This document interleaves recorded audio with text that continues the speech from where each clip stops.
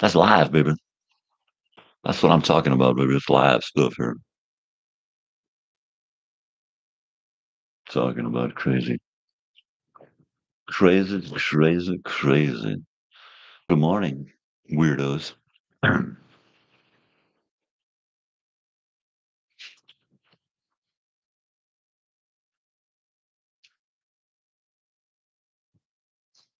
yeah. Let's talk about growth, you know, growth and change, you know, and totally, totally being somebody else, you know. Wow. Hey, it's 5 a.m. It is April 10th, 10 days away from 420.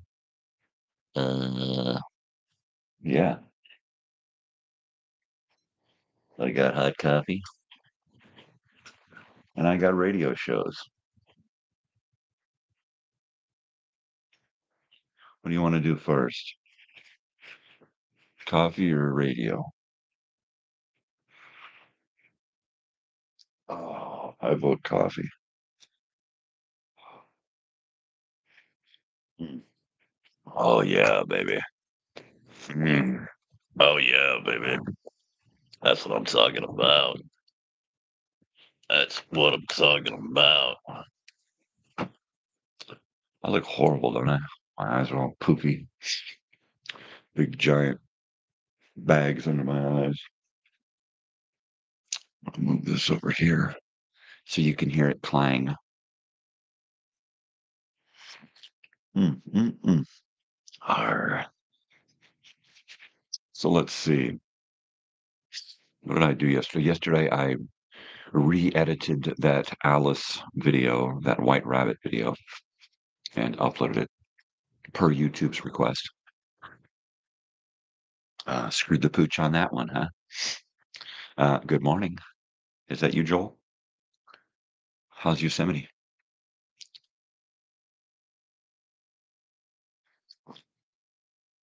Oh, uh, yeah.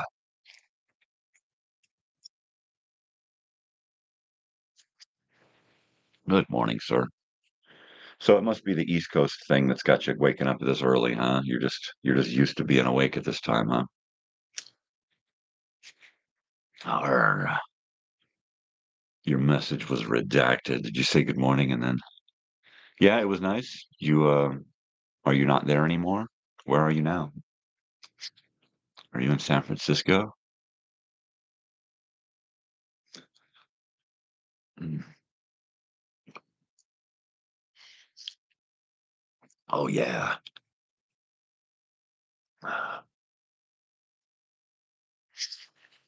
Fremont, right on. That's cool, man. Fremont. Uh, I think the last time I was through there was to see the Grateful Dead in 1995, uh, a few months before Jerry died. Cool. Yeah, we went to the uh, Shoreline Amphitheater, uh, and we came over through Yosemite over the mountain from the 395. Uh, I can't remember what that pass is called, but it's up over the 395. Uh, from the 395 uh, in, I want to say Lee Vining is where just north of June Lake in California, and you take a little mountain road that goes up and over and down. And it's really neat because when you're coming from that side, you can really, I mean, you look down on Yosemite from uh, a, a, like a northeastern position, and it's just a great view. Uh, and the mountain road, uh, it had just opened up from the snow when we were going through, and it was just snow on on every side, and and Yosemite was just white. It was just beautiful. It was just beautiful. Of course, as soon as we got down the mountain and down into the valley, uh, my friend's station wagon uh, took a dump. I can't. Remember. I think it was the starter. I think the starter went on. All I remember is that I was tapped to be the mechanic, and I was underneath that thing, uh, working on that that damn station wagon. Oh boy. Yeah, I got a story for everything.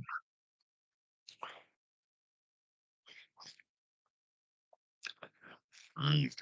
The uh, Presidio If you've never been to San Francisco, the Presidio is a neat place to go to. It's on the north side of the Golden Gate Bridge, and just as you get to the north side, there's this little off-ramp that you take, and it goes around to the east and then back under and through a tunnel and then pops out on the west on the coast at an old military base.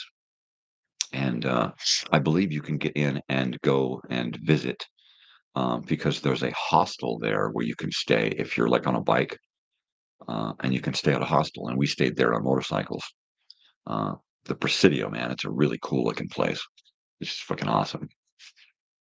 And if you if you watch movies like Bullitt uh, with Steve McQueen, and you see shots of San Francisco back in the 70s, right around the Golden Gate Bridge, the north side of the Golden Gate Bridge, and then that highway that goes up from there. Uh, it's like nothing. There's nothing there back in the 70s, and now it's just it was crazy when I was there in the 80s. Uh, but I never got to make it to the Golden Gate Bridge. Uh, I don't think so. We took another bridge over to uh, San Francisco and uh, went to that park right right up the street from Haight Ashbury, uh, right up from 710. Uh, was it 710 Haight, where the uh, where the Grateful Dead lived? We went by that house, hung out on the doorstep, you know, like every freaking hippie does. Uh, so you going to San Francisco? Are you going to keep going north? Are you going to go up and see the uh, oh, what are those called? The redwood forest? Uh, those big giant redwoods with the uh, that you can drive through. Ah, that was a fun trip. I remember that uh, going to those big trees, you know, and you couldn't. I couldn't pull my van through one of those big trees, but it was neat on motorcycle because you could just whee. Really cool. So yeah, so let's see. This is uh it's Wednesday, of course, so it's old time radio Wednesday. Um you know what? Yesterday I was gonna go over to one of our customers' Airbnbs where we where where I store a lot of my stuff, uh, paint stuff and my records and speakers and that kind of thing. Um oh, south along the coast. Okay, if you're going south along the coast, uh Hearst Castle, all right, is down there. Uh, there's some great lighthouses along the one uh, along the coast there, Highway One. Um, if you get a chance to go to Lime Kiln Beach, Lime Kiln, it's those big giant things that they cook rocks and turn them into lime, right? Lime Kiln. It's Lime Kiln Beach, and they call it that because they actually you go down in there, and it's it's this giant bridge that goes over this this like this uh, valley where this this creek, this river runs down into the uh, Pacific Ocean, right? And it comes straight out of the the mountains. So there's there's like a forest, and then there's this creek that runs down out of the forest. If you hike up far enough in this creek, you find this pool uh, way back there. Uh, halfway to this pool, there's these old giant lime kilns, just giant, uh, like a like a pottery kiln, right? Big giant barrel looking things. Uh, but it's it's a really neat place to go hang out. It's like it's like forest right down through a creek onto the beach, and it's just a really bitchin' uh, visual, you know. Um, you stand up on the bridge and look out in either direction, up into the into the mountains or down onto the ocean. You can hike out onto these big giant rocks that look down onto the beach. It's a fantastic place to go hang out. Um, so if you're going south, uh, yeah, that's about half a that's about half a day's drive, I think, from San Francisco. At least I I remember it being about a half a day's drive to San Francisco from when we stayed at Lime Kiln.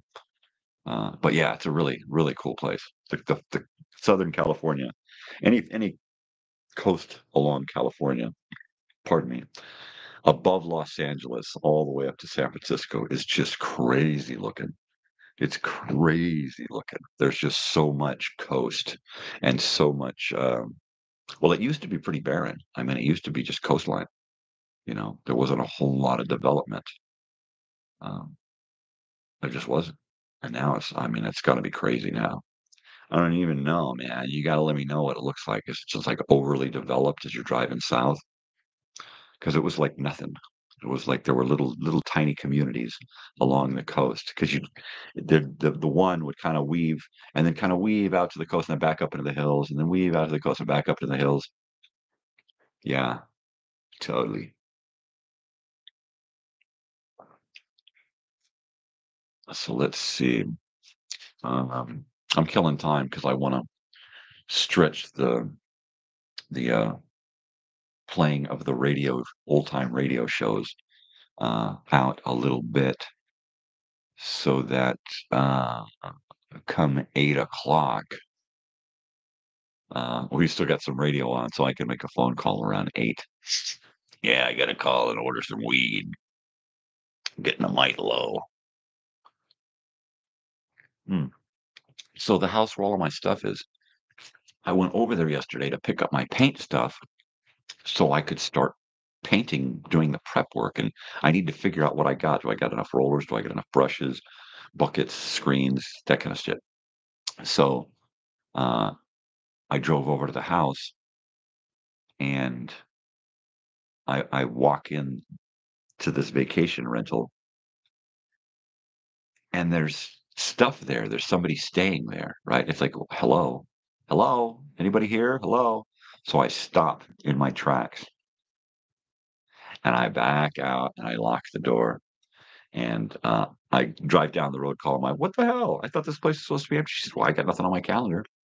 Of course, the lady who does the booking can't get her head out of her ass, um, to save her fucking own life. She's just "Duh?" Uh, of course, she's very, very demanding of everyone else, but when it comes to be being demanding of herself, she's like, "Oh, well, it's just stupid me." Everybody's just supposed to go along with it, right? Twit. Yeah. Here we go. Hi, good morning. Uh, so, yeah, I was kinda bummed out because I was gonna go pick up all of my paint stuff, going through it as I was loading it, and then add to my list and go to Home Depot and get all of my stuff, right? And now I'm I'm boned, I'm totally boned. Um not only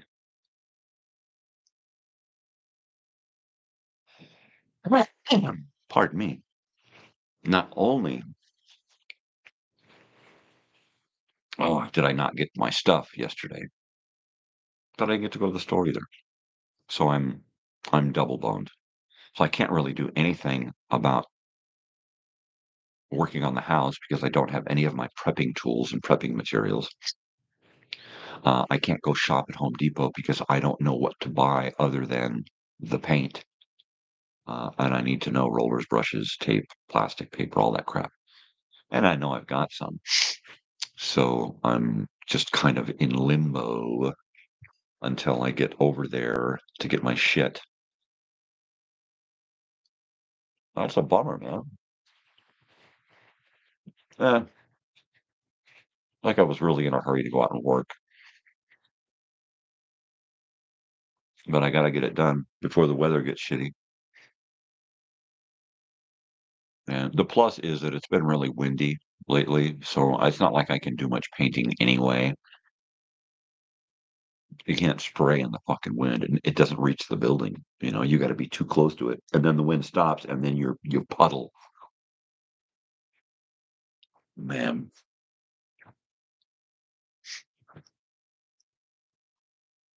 Mm, mm, mm. Ah. Ah.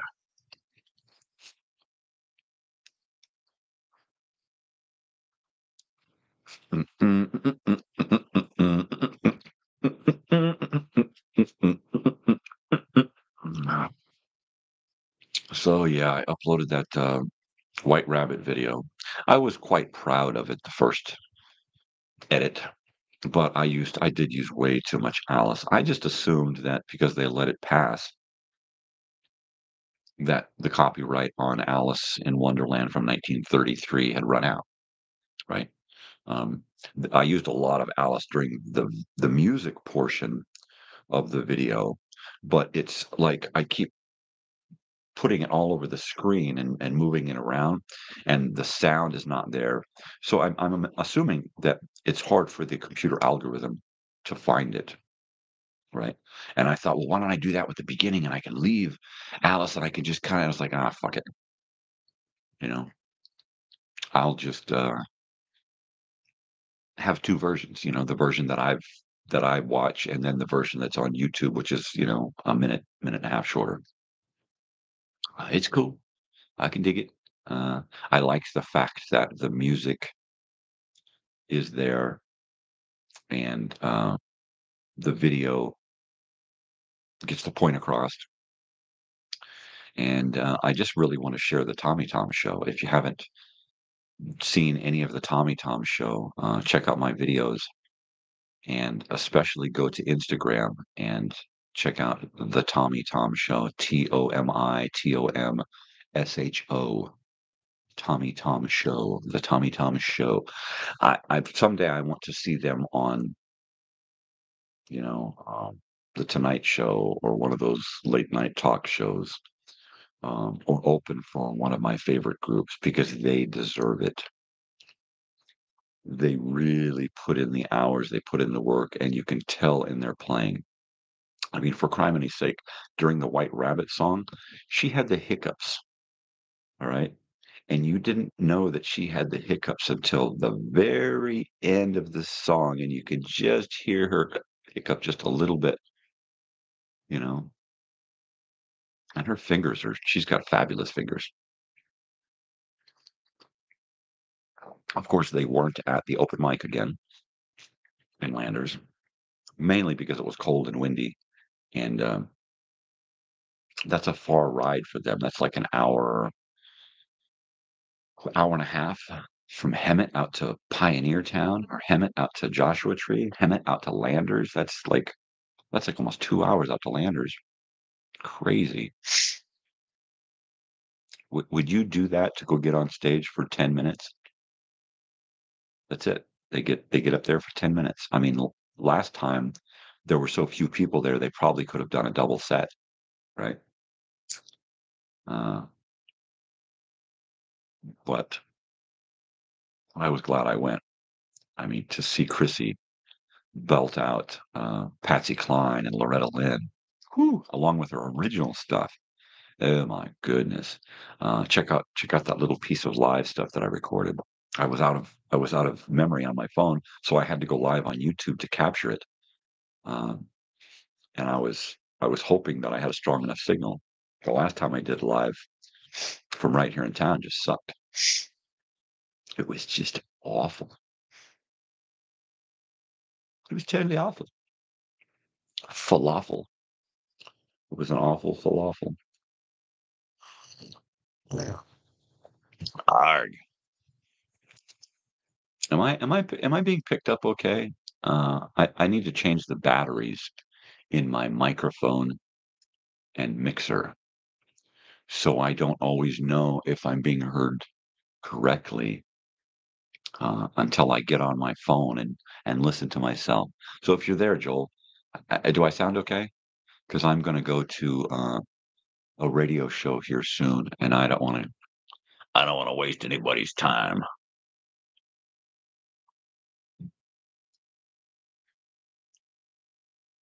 Oh, great. Thank you so much. Alright. Well, I am gonna get ready to put on here, we'll do this. I'm gonna put on one of my old time radio shows. I'm just gonna play it directly from my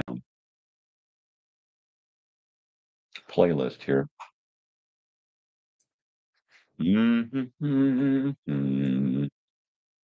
gonna go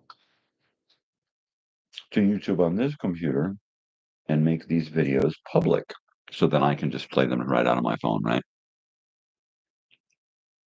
And then at any time during the day or night y'all can play these here videos, them there vidya's.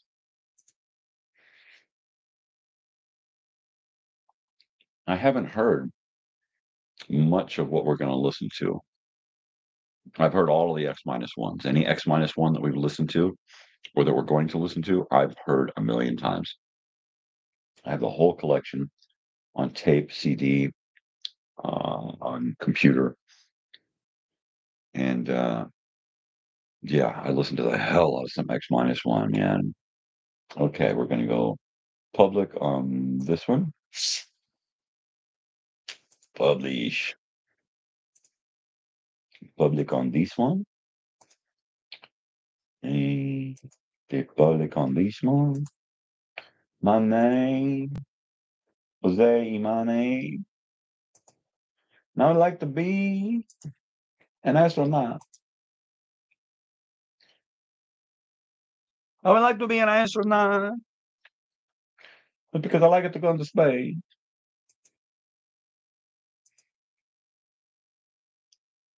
All right, that's that. Now let's go here. Boogity boogity.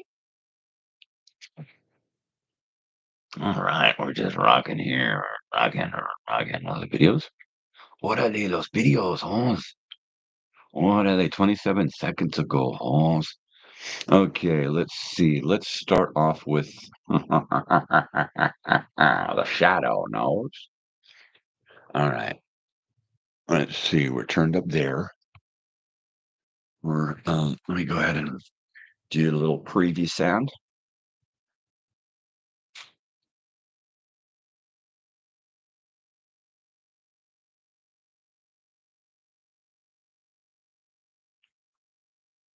All right. Can you hear that?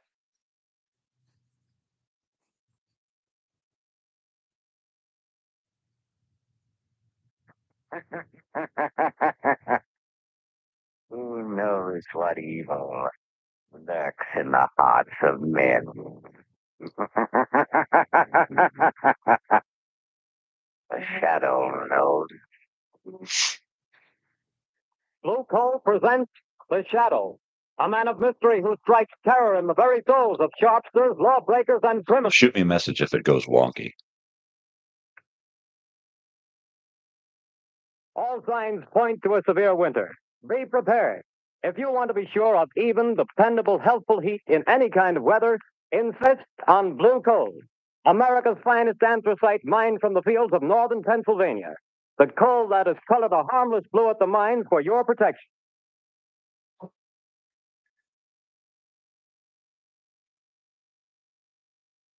You can't have me again. You can't do it.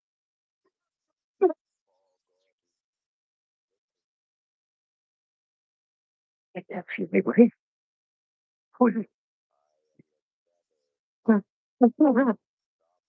We haven't much time.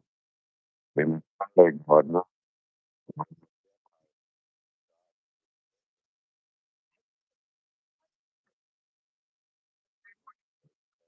Pardon.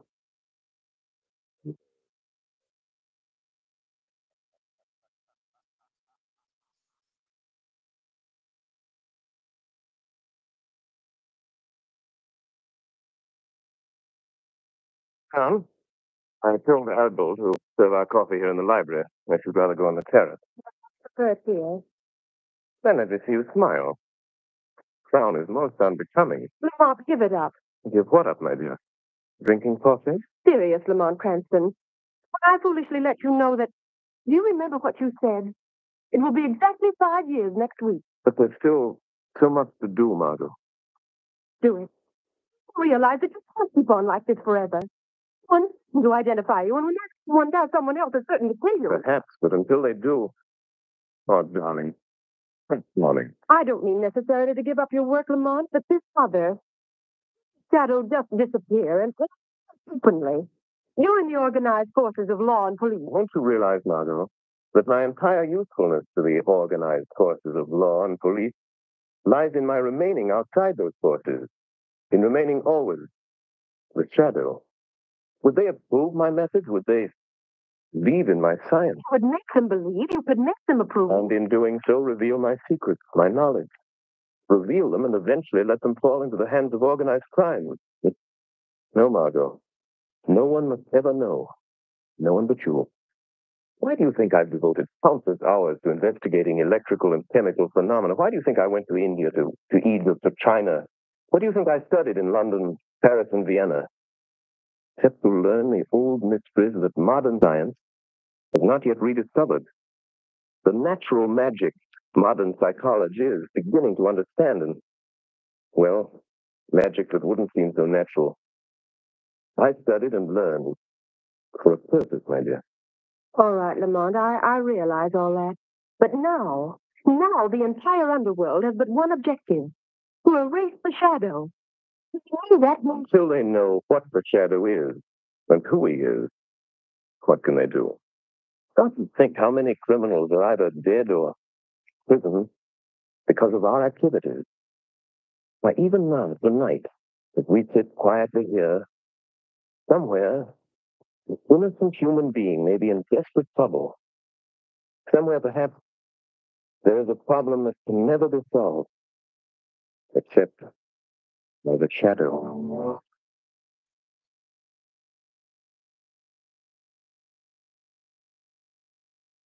What did the doctor say, Grace? it was good news and, and bad too, I'm afraid, dear. Well, whatever it was, dear. Tell me. Well, he said the baby could be perfectly well again within a year. Oh, thank God for that. Kid, he's had a tough time. Well, what else? This part isn't so good, Paul. Still need treatment during all that time. Paul, treatments cost money. I know. Well, we'll have to manage somehow. You didn't do a very good job marrying me, dear. Darling. But only get a job. I've got my health and I've got brains. No one seems to want them. Oh, Will, dear, they, they've got you. You're right about that. It's just about down to rock bottom. I raised every cent I can on a house and car. There isn't anything left. You and I are still left, Paul. And we've got to take care of Sally. She's our daughter, Paul, and she can have her chance. She's going to have it. Somehow. Tomorrow I'll start out and take anything I can get. Darling, perhaps tomorrow things will break for us. Yes. If only they don't break the wrong way.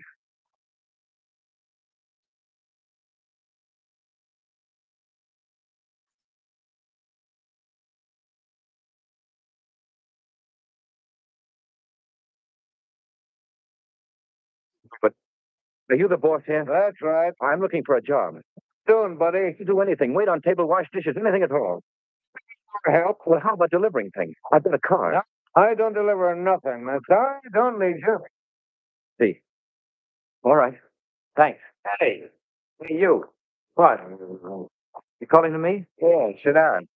Have a beer. No, thanks. I, I don't drink. Anyhow, sit down. Meet a friend of mine named Lefty. My name's Red. Look at my hair and you'll know why. Well, I'm glad to meet you both. Gordon's my name, Paul Gordon. Well, did you want to talk to me about something? We might. Might be able to help you out. Sounds like you're looking for a job. You bet I am. I need one. You know anybody that could use me? Maybe. We don't know you yet. As far as that goes, I don't know you either. See, Red, the guy smart. Uh, maybe too smart. Now, look here, Mr. Gordon. We need a car, and we need somebody to drive it for us. You understand? Well, I've got the car and I can drive. Is it a good car? Has it got speed? I'll guarantee you up to 80. It's not bad. It's not bad. Now, listen, kid. How about meeting us tomorrow morning at 9 o'clock? All right. Where? Well, let's see. Uh, we're going to. Um, I got it. Right in front of the Uptown Bank. We got to go there first to cash a check. Well, how about $5 a day? That's over. But you remember, be there at 9 o'clock, or you don't get no job. Don't worry, I'll be there. I'll be there at 8 o'clock.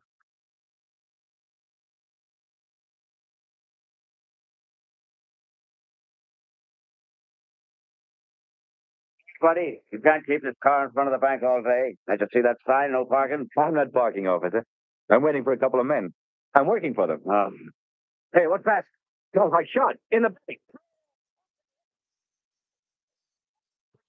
It. You, fun, fun, fun. It's like, Joe.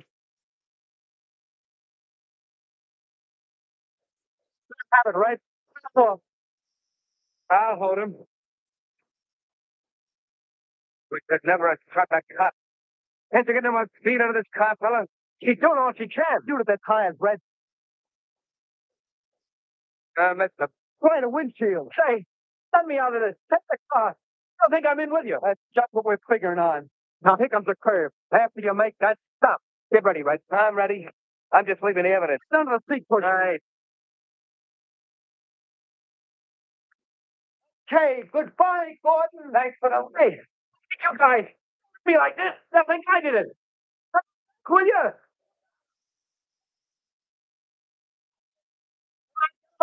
I haven't got a gun. I wasn't in it. They made me drive the car. Keep your hands up just the same. Throw the car, Charlie. Okay, sir. Now, fella, you might as well come clean on this. I haven't done anything. I tell you, I'm innocent. Look at seat cushion. A bag full of bills and a gun. That's the gun that bumped off my buddy Louis.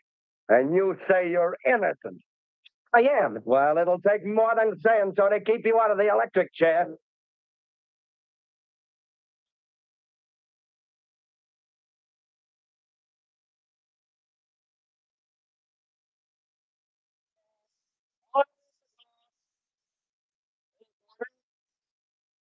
Jury have found you guilty of robbery under arms and of statutory murder.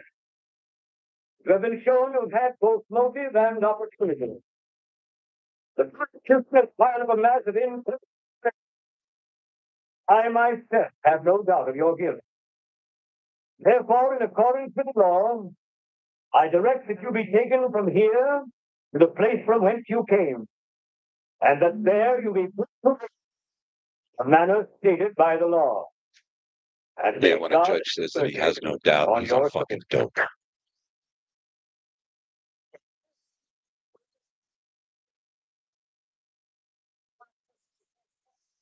Why, I don't know where he is, Your Honor. The last came from over there, in that corner. Yes, Your Honor, but there's no one in that corner. Only a shadow.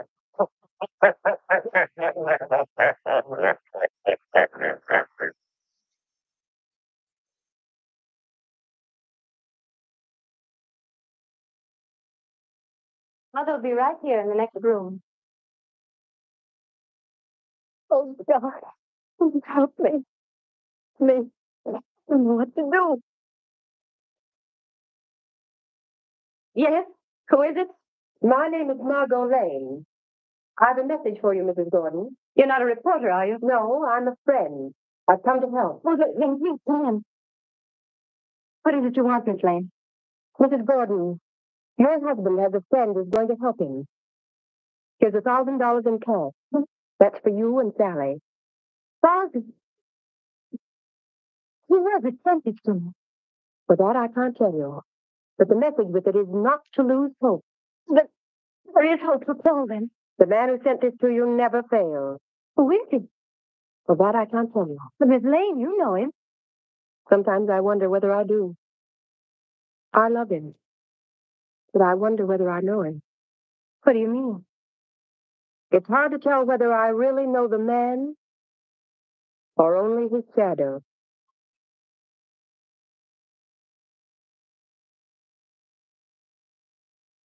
Well, Lefty, tonight the Paul guy goes to the chair. That's what he gets for being a sucker. Yeah, there's not a clue that even points our way. Not even a print. We had gloves on all the time. You had yours up for a minute when you were sitting next to him. Yeah, but uh, I didn't touch the wheel. Then we ain't left a clue. You think so?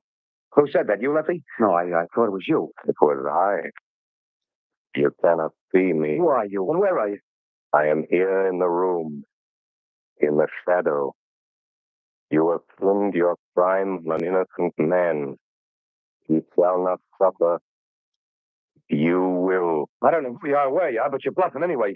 We got no evidence. We didn't leave a clue. Did leave a clue. Clue that will send you to the chair. Where was it? Where was it? You're lying. Wouldn't you like to believe that? Keep thinking about it. Keep thinking about clue that you forgot.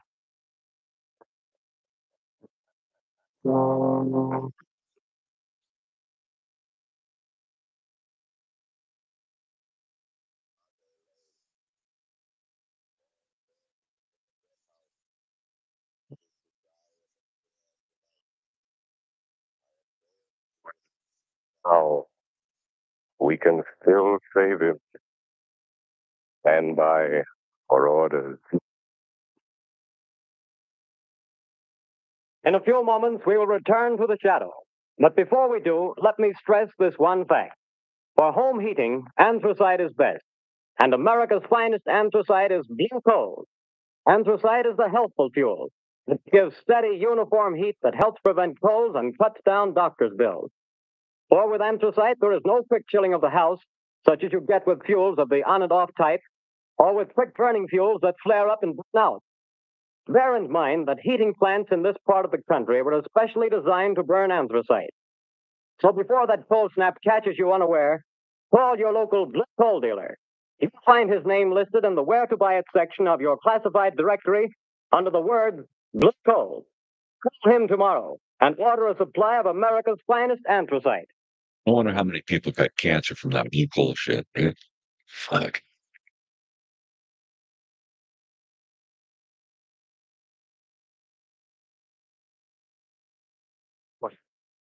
Have you got any word from the governor? I'm sorry, Gordon. The governor refuses to take any action. Thanks. I'd like to go. Tonight? At 11 o'clock. What? What time is it now? Almost 10. Is there anything I can do for you? No. Thank you, boss. Very well. These guards will move you to another cell. I'll be back in a little while. Ready, Gordon? Yes, Scott. We're just going to move you to another cell. What does it matter? The one you're going to is near a Near to the chair, is that it? All right. Let's go. All right, Gordon. Walk to the left. You'll be right here behind you.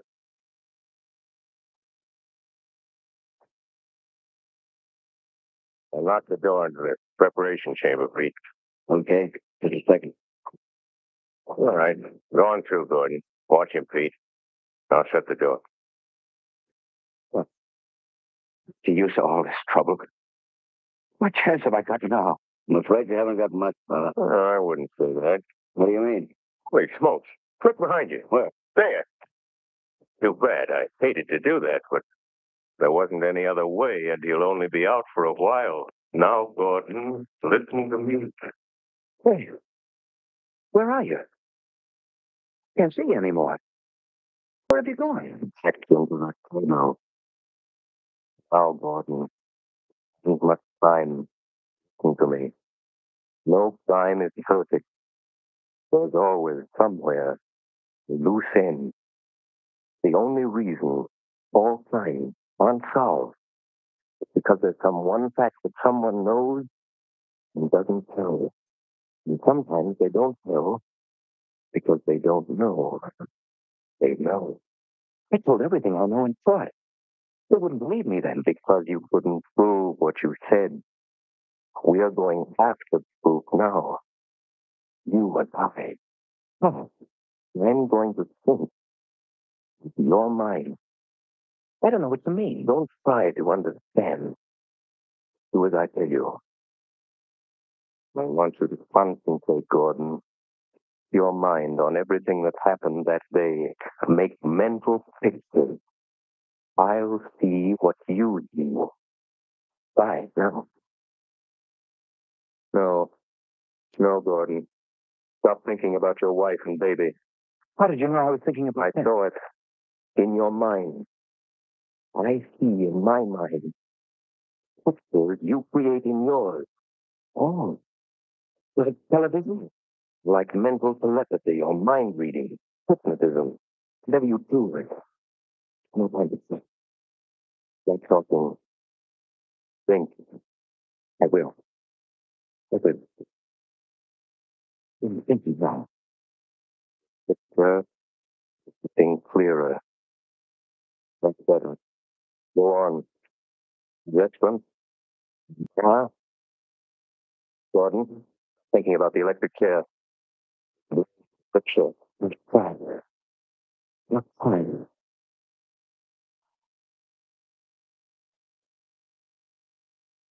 car. Front of the bank. Yeah. Right there. Leaflet. Crowd. Yeah. A minute. Small man with red hair. He was the one called Red. Yeah. Yeah. I it. Crooked nose, short, glasses. I know that man. He's Red Sloan. Hard to see. I know. Think for your life. Try hard. Yes, you started the car. The other, Lefty, was in front of you. Lefty. Lefty. See him for me, Gordon. Star on his left cheek. Why didn't you mention that in court? Never mind. Concentrate. Yeah. Yeah. Lefty couldn't keep you covered with a gun and back at the same time. What he do? He hmm. reached up and twisted the rear view mirror. Now we've got it. That's loose end. That's where his imprint will be. Gordon, now I can save you. You told the truth. Didn't know you knew.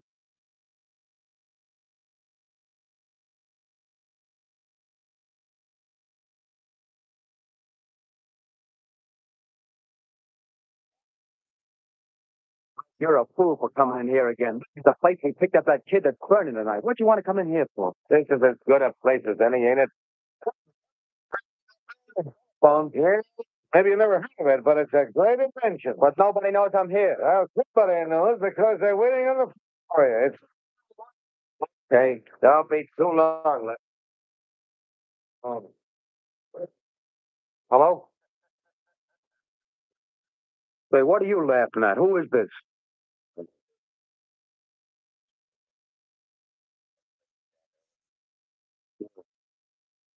Say, what is this? Too bad about young Gordon. What do you know about that? Who are you? What do you want?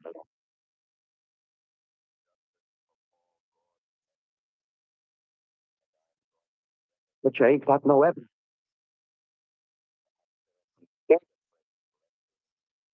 No, we had gloves on. There couldn't be no fingerprints. You have this, Sure, I did. you're right-handed. Hmm, careful. You were sitting in the front seat of Gordon's car. Your gun was in your left hand. Remember? Say, you ain't nobody, I. It's just, say, how do you know? Did you do with your right hand? My right hand? Took off your right glove, didn't you? No, I didn't. I didn't. No. Gosh, I was going nuts. Taking you because it's going to leave you. I do and I No, I didn't. I didn't take it off. Are you sure you didn't reach up with your right hand and grip your mirror? Are you sure, Lefty? No, no, I didn't. I didn't. Maybe I did that.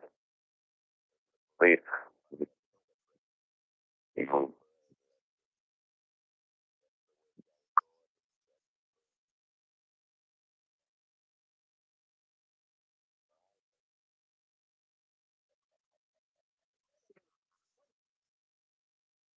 He hung up. No. No. I won't burn. Hey, Red. Red! Let's say, who is the guy Never on mind that. Where's that car of Gordon's now? in his garage? I guess I heard his wife. What? I got a hunch. There's some fingerprints of mine in that car. Red, we gotta wipe him off of there, or maybe we'll burn in that chair too. Come on, let's go. But, Commissioner, I'm sorry, Miss Lane, but I don't see what we can do. since the men committed the crime are free. Where did you get this information? Oh, that I can't tell you. Hey, Miss Lane, Paul Gordon was convicted of murder by due processes of law. Tonight he pays for his crime in the electric chair. If the police listened to every crank who came in here claiming new evidence, man to the chair. They can't. no, but they can send the guilty man. And according to the evidence, Paul Gordon is guilty. You know, suppose that afterwards, when it's too late, they discover that Paul Gordon wasn't guilty after all. And suppose I testify that the police refuse to listen. Well, what do you want me to do? If it's within reason, I'll do it. Send the men to that garage. I want you to catch the guilty men and see that justice is done.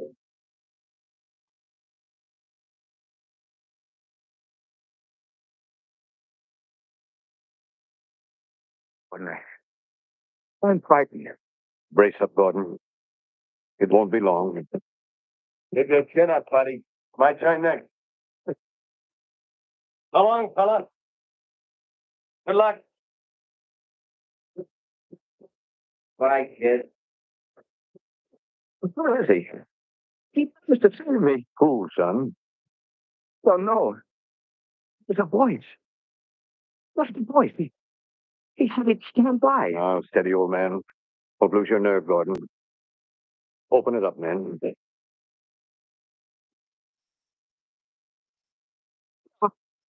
What in there?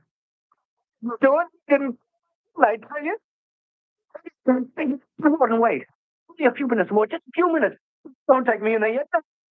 Please, please, he said, please wait. Easy, Gordon. I'm sorry. Go in that door, I'm going. It'll be too late then. Take him in, men.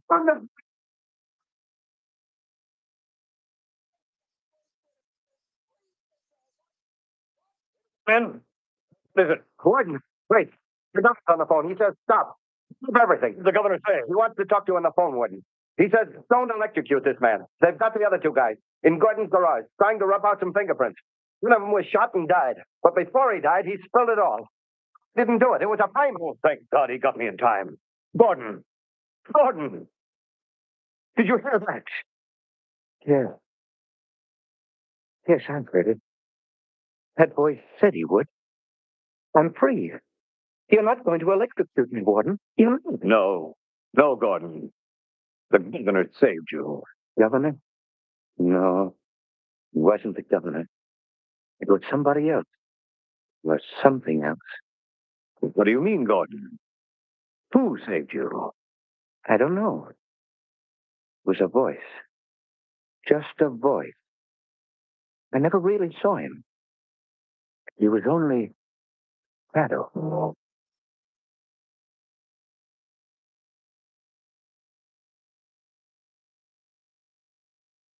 Before another adventure with the Shadow draws to a close, John Barclay, Blue Coal's heating expert, would like to say a few words. Mr. Barclay. Good evening, friends.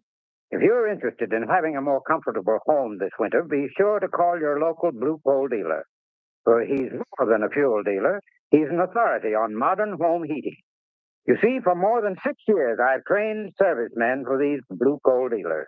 These men, known as John Barclay servicemen, have added thousands of families like yours to enjoy a greater degree of comfort and to save heating dollars, too. I'm going to read part of a letter typical of many received from satisfied customers using Blue Coal and John Barclay service. I quote in part. The service rendered by your John Barclay servicemen has been invaluable to me. We were burning a ton of coal a week, having great difficulty in keeping our fire going throughout the night. Your serviceman made me many helpful suggestions regarding the proper way to regulate the furnace and recommended the use of blue coal. We not only reduced the amount of fuel consumed to one half, but actually got more heat.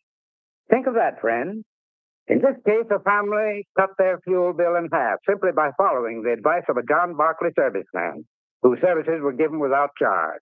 Now, you don't have to buy blue coal to benefit from John Barclay service. No matter what kind of fuel you're using or from whom you've been buying, if you have any heating problems, consult the blue coal dealer. You'll be very glad to place his John Barclay serviceman at your disposal to solve your problem. I thank you.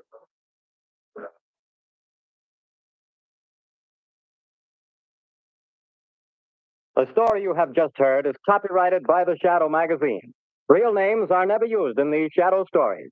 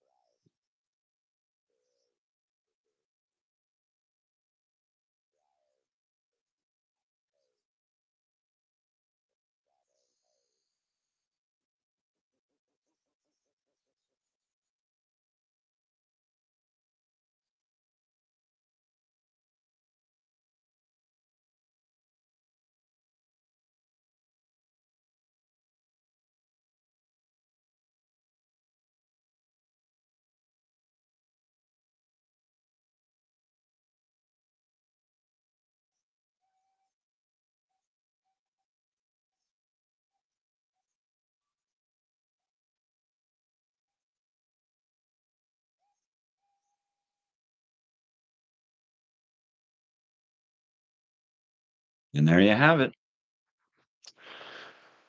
That's pretty cool stuff right there. So that's the actual the first the first episode of The Shadow. Uh, it's not the origin episode, which I have heard.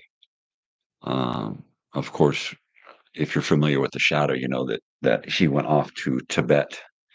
He's a uh, he's a wealthy newspaper guy, and he went off to Tibet to learn the mysterious ways of the Tibetan monks and uh, find out about um, mental telepathy and mind reading and mesmerism and that kind of stuff. Uh, so basically, what the shadow does is he he mesmerizes people into uh, thinking that he's not there. Basically, he becomes a shadow in their mind. He clouds their minds so they cannot see him. Uh, so that's that's some weird shit, right? It's like boom, you're on mushrooms. Uh, hey, Budman. Hi, Budman. Uh, Orson Welles, he was 22 at this time. Uh, and he stayed with this show for I think like a season or or about there. Uh, and then he was um, he was at the helm of the Mercury Theater and in charge of the Mercury Theater players on the air. Agnes Moorehead was one of his famous, most famous uh, actors in the Mercury Theater. Um, she did a lot of side stuff. You know, she was in the Twilight Zone as that uh, mute lady who was attacked by the little spaceship in her cabin, and she just kind of ran around trying to stab at these little the little Robbie robot walking around, little tiny Robbie robot. Um, she also did the uh, the TV or the radio version of "Sorry Wrong Number." We heard that I think last season, or, or sometime at the beginning of this season but most notably, Agnes Moorehead was uh, well known for uh, the mother on Bewitched, the old witch lady. Uh, I can't remember her name, um, but she was uh, she was the mother on on Bewitched, uh, Esmeralda or some some weird freaking 1940s name. Um, but yeah, Orson Welles. This he he became the like Hollywood golden boy uh, soon after this. He was just into everything. He had the voice, he had the look. This is back when he was really thin, and he had he just had this look about him, uh, and he was he was really in demand. Uh, and he spread himself pretty thin. He was doing radio, he was doing movies, um, he was directing stuff. Uh, he was a, just a phenomenal director on radio, and then he took it to the movies. And then he did, most notably, one of his first films was, uh, um, oh shit, Citizen Kane, right? And of course, he did a lot of weird stuff, The Third Man, and uh, and uh, Oh, there was one that he he played and he put on a big fat rubber nose, and he put on a bunch of weight, had these big jowls added. Uh, and damn, I can't remember what the name of that movie was. I'll have to look it up. But he just did some crazy shit when he was young. And then as he got older, he just became more and more eccentric, right? And he couldn't, he couldn't, he literally could not afford to take care of himself later in life. Uh, it was just it was just amazing that you know he had done all of these fantastic things. He was known in hollywood as like the guy right? And now he's living on the couch of a young director you know? Uh it's just it's crazy you know? You know he died a pauper you know doing uh doing wine commercials ernest and julio gallo wine commercials. We shall serve no wine before it's time. You know? Yeah, you can totally tell Hollywood just doesn't take care of their own. I mean, they they just assume blackball your ass than to worry about what's going to happen to you after they've used you up, right? See that with a lot of kid actors. They just use them up, and then when they can't do the things, you know, that they just aged out of, just like, you know, we don't have any use for you you know the smart ones leave it early before it's taken away from them and the smart ones go to school you know um, jonathan taylor thomas from uh, home improvement right? He did a since early on when he did the, the voice of uh, young the young lion and lion king right? And then all through his his youth he was like a freaking superstar. He was like the rock star of teen idol kids right and then he just left it all behind and went off to school and spent you know what 4 years at Harvard or something. And then kind of drifted back out and said hey look I'm still here. And nobody nobody gave a shit at that point. He had he had aged out of his uh his ability to to please the uh the money grubbers in Hollywood. Just too too free too much. The end of this episode right just before he gets saved um, from the governor and he's going off to the chair and he's doing all of the i don't want to die. Please please don't make me die. I didn't do it. I swear i didn't do it. It wasn't me. Oh god please don't let me die. It totally reminded me of the james cagney movie the first movie that we saw the bowery boys the the dead end kids the east side kids right uh it was called angels with dirty faces one of my most favorite movies from when I was a teenager. It's like a 1930s or 40s movie, right? I think it's 1930s, late 30s. It's got a young, um, not so known Humphrey Bogart in it, and uh, Jimmy Cagney, and a bunch of early Dead End kids, Huntz Hall and uh, Leo Gorcey. Uh, just a second.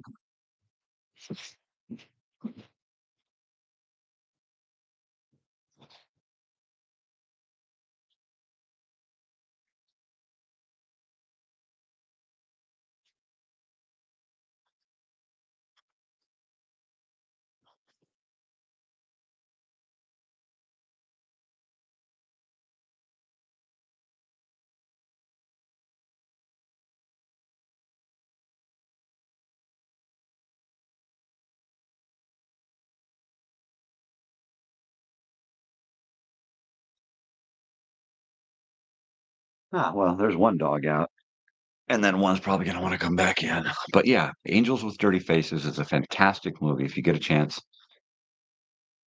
Um, James Cagney, Angels with Dirty Faces. It's it's, um, my friend and I, Andy, uh, Andrew now, um, I was Mike and he was Andy, um, back in the day. Now I'm Michael and he's Andrew. Um, anyway, back in the day, we used to literally we I had that on on VHS and we would watch it like religiously. It was one of those things. We'd come home from school, and the first thing we'd do is we'd put on Bonanza because it'd come on like three o'clock, right? Two or two or three o'clock, come on Channel Five. So we'd throw on Bonanza, and we'd have to get in there and get the TV on and be watching Bonanza for the opening sequence so that when they zoomed into the map and it said Bonanza and the Bonanza went down into the map and then the map burned, right? And the map lit up. Us stoner kids, we had to be lighting up our our dubage when that map was burning. All right, you ready? All right, hit it. and we'd we'd spark up the dubage, you know, when it was uh when it was a map burning time. And then after that, we'd watch Bonanza and we'd then we'd put on a movie and we'd usually put on Angels Angels with Dirty Faces or uh, Stalag 17 with William Holden, uh, directed by Otto Preminger. Uh, that's another phenomenal movie. Uh, in fact, my my friend Andrew, uh, he spent some time as the producing artistic director at the Long Beach Playhouse, and he got to produce that uh, Stalag 17 because it was a play before it became a movie. And then, of course, they turned the movie, they adapted the movie into Hogan's Heroes. Okay. So uh, he actually got to do a production of Stalag 17 that I did not get to go see. I would have loved to have been in it, even if I was just playing Joey you know, the little guy that that sits up there and, blows on his ocarina, right? I got to deal with dog. Just a second.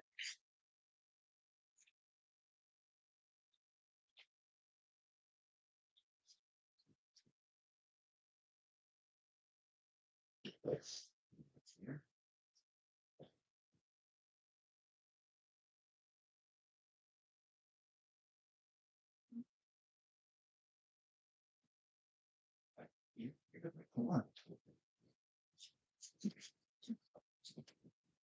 want to come sit up here? Come on.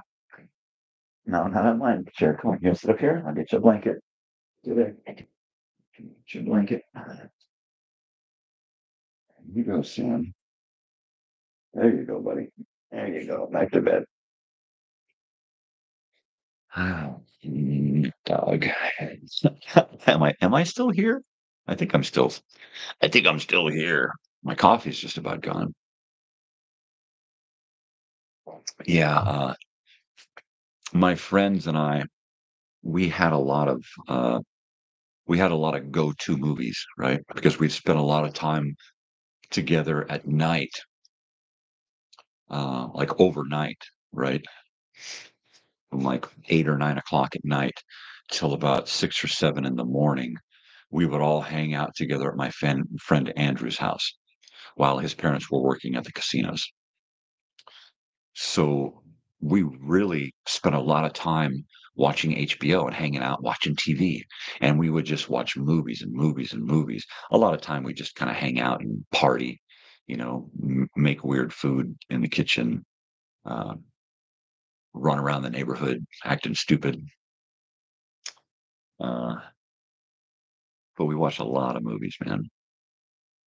Just a ton of movies. One of my favorite weird, weird, weird movies uh, was a Clint Howard movie. Um, and it was, uh, oh no, of course I can't remember the name of this stupid movie. Um, it was about a kid at a military academy and he fa- he finds he's just bullied, right? Everybody hates him. Everybody's picking on him. Always fucking a little fat kid. Boy, don't, don't I know it.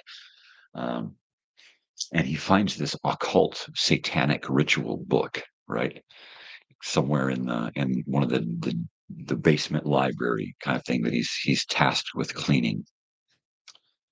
And uh, he starts doing all of this satanic stuff so that he can get back at these people that are fucking with him and to gain some some power. Uh, and uh, for the life of me, I just cannot remember the movie. I know I've got it on on tape here somewhere. Uh, I'll have to dig it up while we're on the next show. Uh, but yeah, I mean, when I was all through my youth, and even today, I mean, movies are kind of where it's at for me because I can I can go into a world, I can lose myself, even if I've been to that world a hundred times, which I I do that a lot. I'll put on a movie, and then I'll go about my world. I'll sit here and edit video with freaking caveman and Ringo Starr, you know, or or something, something from my past where it kind of helps bridge, you know, from from now back to then. It kind of pulls me in in that direction rather than than being forced forward where we're all going we all keep getting forced forward right? So i like to i like to kind of pull myself back uh it helps with the the uh that inevitable journey to the end right?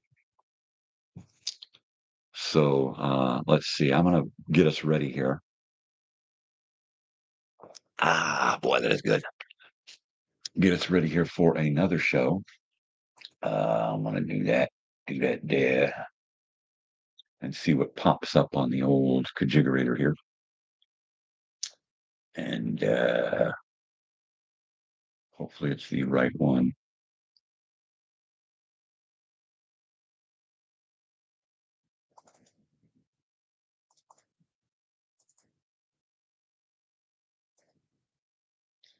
Uh, for the love of Pete, uh, what do you do? What do you hear what he say there, bud? Okay, so we are going to do, uh, let's do yours truly, Johnny Dollar. All right. Uh, uh, for the love of Pete. Uh, all right, let's let that load up. And then um, let's see. Uh, oh, so so the shadow, right?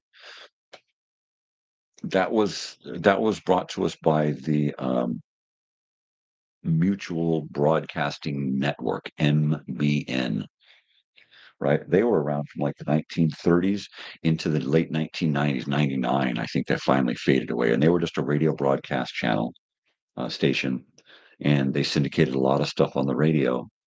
Um, but unlike you know NBC, ABC, CBS, they never went to television, uh, and if they did, they never lasted because I don't ever remember seeing anything. I'm sure they did some. Uh, you know, everybody, a lot of the radio people did a lot of film um, because sound was in, was really important in the film.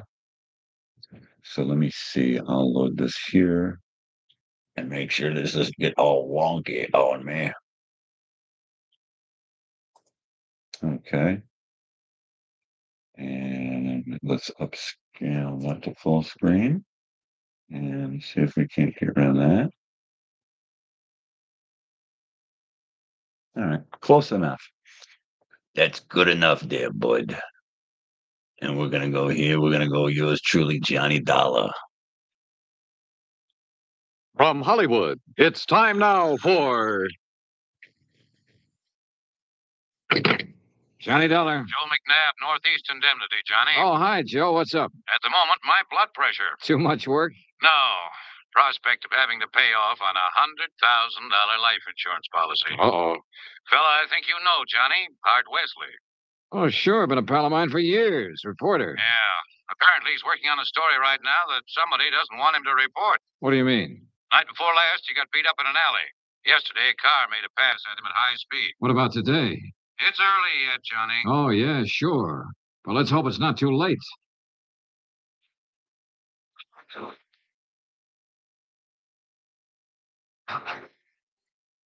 Bob Bailey in the exciting adventures of the man with the action packed expense account. America's fabulous freelance insurance investigator. Yours truly, Johnny Dollar.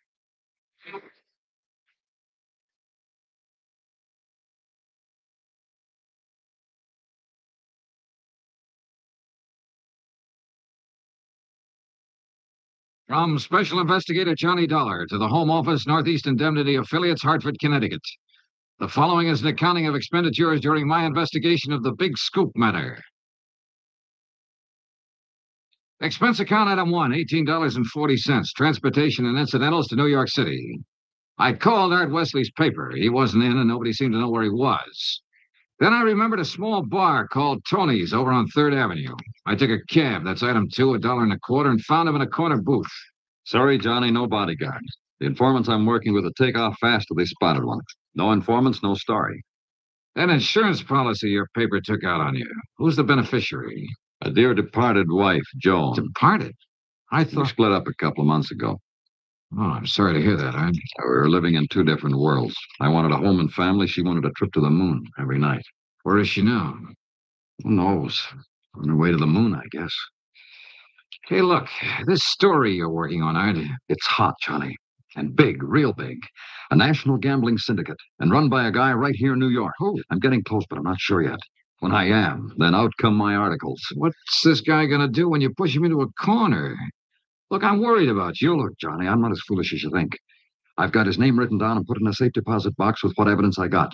That's my real insurance. Art, look, we've been friends a long time. I'm not gonna let you do this alone. Sorry, Johnny. I gotta go it alone.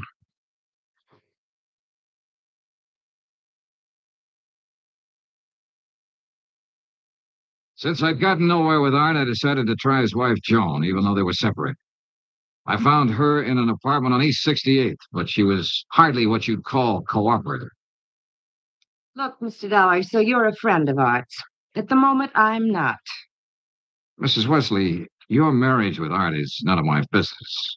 But that insurance policy his paper took out on him is. And incidentally, you're still a beneficiary. So, So he could be in danger, those articles he's writing. why doesn't he drop it? Oh, look, you know Art better than that. Then what am I supposed to do about it? That story is his business. How I feel about things is my business. And come to think of it, I can't see that either of those things is your business. Item three, a dollar eighty cab fare to police headquarters in the office of my old friend, Detective Lieutenant Rastelli. Sure, sure. I know about those attempts on Art's life. So I talked to him and got nowhere. He told me the stories about a national gambling syndicate. It's more than he told me. Supposedly the big boss is here in New York. Now, what are you going to do about it? Look, the minute Art quits thinking he's got to hit the jackpot all by himself and lets us in on it, we'll give him all the protection he... Lieutenant Rastelli. Yeah, yeah, just a minute. It's for you, Johnny. No, thanks.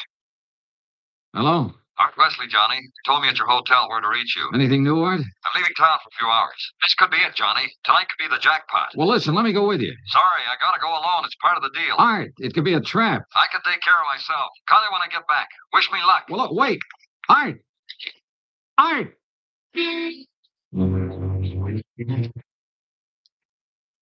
Item four, a dollar eighty cab to Art's apartment, where I persuaded the manager to let me in. I was looking for anything that would give me a lead. Then, near the phone on a scratch pad, I found where he'd written the word Watika several times. Sure, Lake Watika, upstate. Art had a lodge there. Item five, $25 even for a rented car. It was a three hour drive to Lake Watika, which was bad enough. But to top it off, it started to rain and rain hard.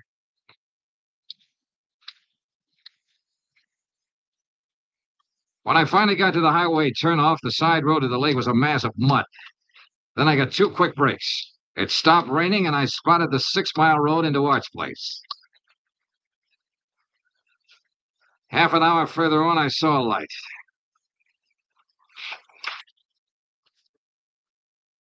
Art's car was parked at one side, and the front door of the lodge was wide open.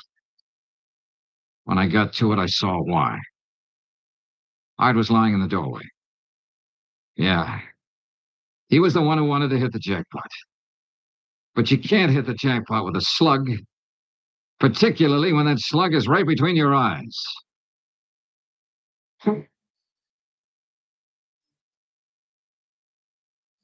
I drove to the sheriff's office and reported. Sheriff Tompkins and his boys took over. But in the darkness and the mud, they could only make a routine check. He asked me to meet at the lodge the next morning, so I did. Uh, uh, Buddy was right here in the doorway, huh, son? Yeah, Sheriff, I didn't move it. And uh, Wesley probably got shot when he answered the door by somebody standing out there on the ground. Because of that bullet hole in the roof? Yeah. Right over that shelf that's stocked with canned goods, sugar, salt, and the like. Apparently, he used this place regular. Yeah, he used to do some of his writing here. Were you able to determine time of death? Coroner says between 10.30 and 11 last night. Uh, what time did you arrive? About half an hour after the rain stopped. I'd say quarter to 12. Means it was uh, still raining a good half hour after the killing. Eh, no wonder we found no tracks. Hey, look, Sheriff. Art was working on a hot story about a national gambling syndicate. Could be that he found out who the boss was last night, the hard way. Oh? Then uh, you think the killer was from out of town, maybe New York? Yeah. Yeah. Now, where would he stay? Is there a hotel around here? Lake Watika Inn, just outside the village, about six miles from here. Sheriff, I'll check it out. The guests here at the inn, Mr. Dollar, well, we have only two who checked in yesterday. It's the off season, of course. Yeah, clerk, who are they? Well, uh, Mr. Cooper yesterday afternoon and a Mr.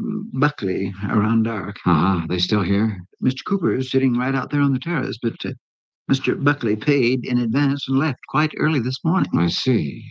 Did Buckley give any reason for stopping here? He said he was a traveling man and didn't like to drive in the rain. Okay, okay. I'd like you to write down a description of him. I'll pick it up on the way out. Oh, I'll be glad to, sir.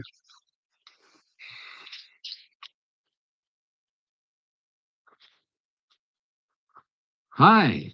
Oh, good morning. Enjoying the scenery? Yes, immensely. Oh, sit down, won't you? Sure, thanks.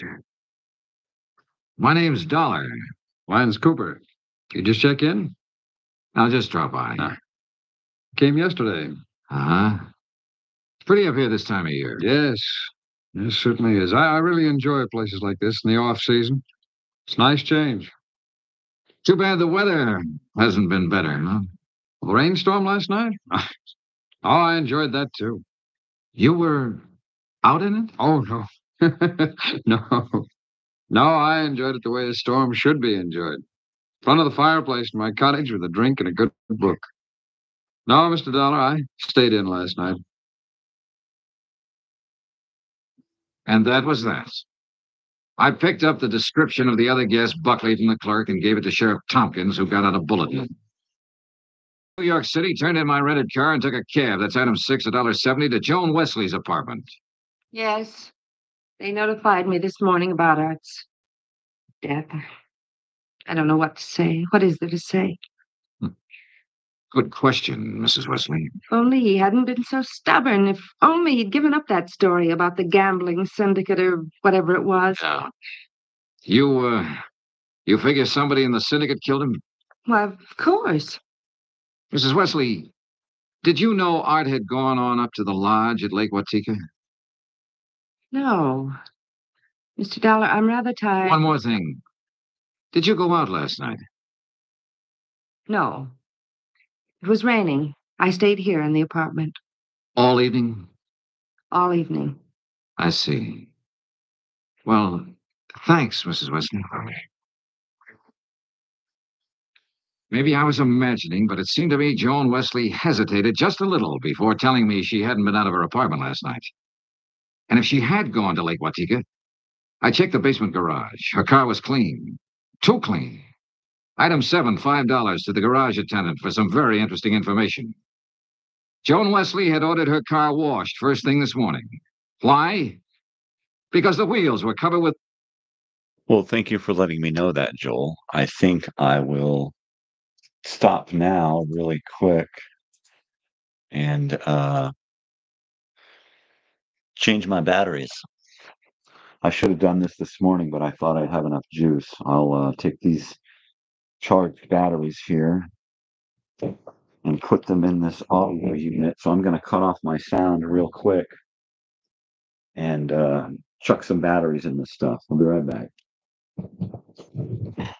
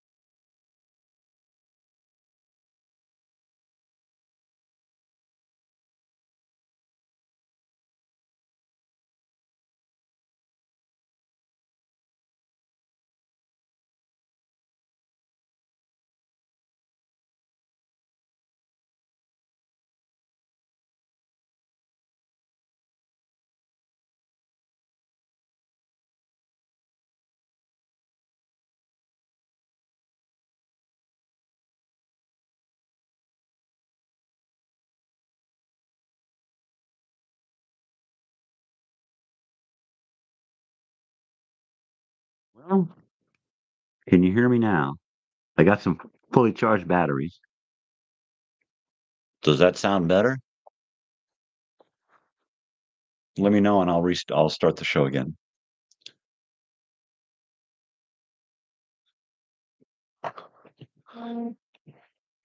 My wife got me these great uh, rechargeable AA batteries, so I don't have to go. Oh my god!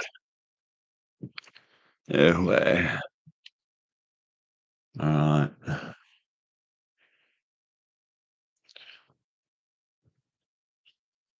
Uh, so I th- I think the sound is back on. Uh, let me let me know what you think there, Joel. Hello, anybody there?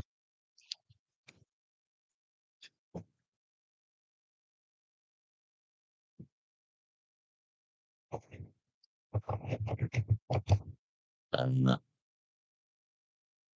hello?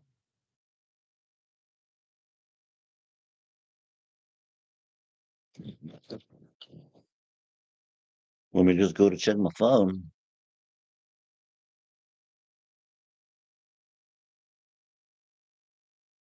And I'll do the usual, usual sound check here. And I'll do the usual. usual- Whoop.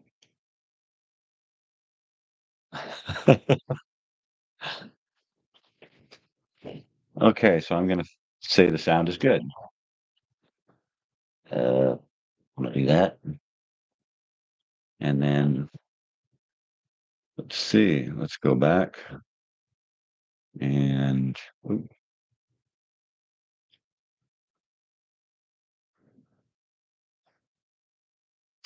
are are you there? Is anybody there? Is anybody there? I'm gonna put the show back on, Neri. Neri. I'm gonna go back, Neri. Oh, gee, there it is. All right, here we go.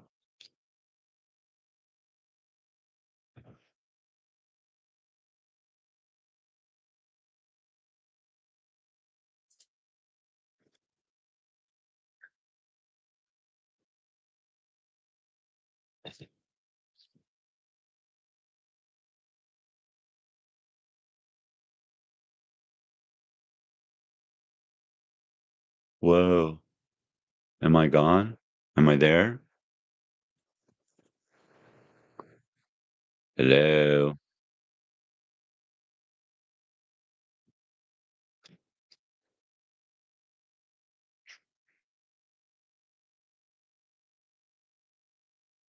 Let me mute the sound. Technical difficulties, I swear. All right.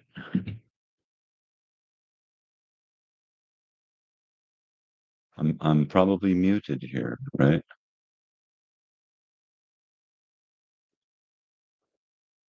Yep. I'm a muted, mutated.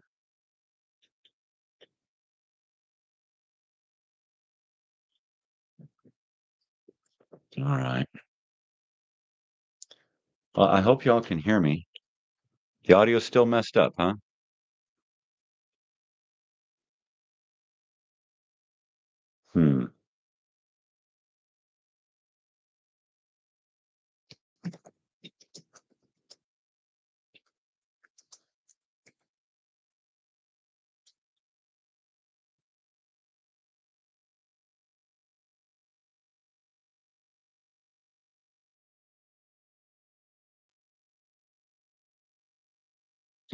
Or typing or anything?